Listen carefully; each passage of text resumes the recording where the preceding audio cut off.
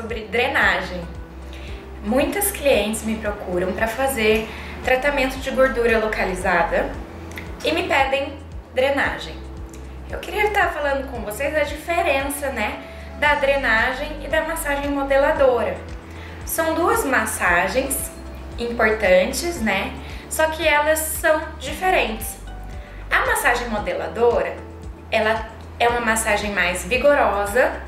Ela, nós utilizamos mais pressão nas mãos para poder estar tá fazendo essa massagem. E ela é muito indicada para modelagem corporal, para celulite. Já a drenagem linfática, nós utilizamos um movimento mais lento. As mãos fazem pressão e descompressão. E o maior objetivo da drenagem é diminuir a retenção hídrica, ou seja, diminuir o inchaço.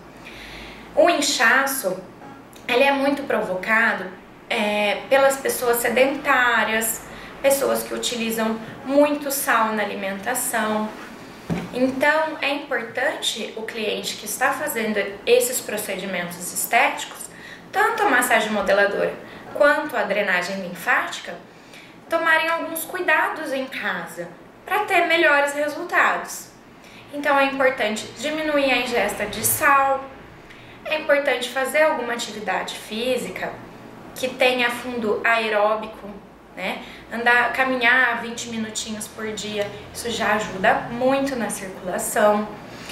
É, temos também indicações de produtos com ativos cosméticos que também auxiliam nessa circulação sanguínea.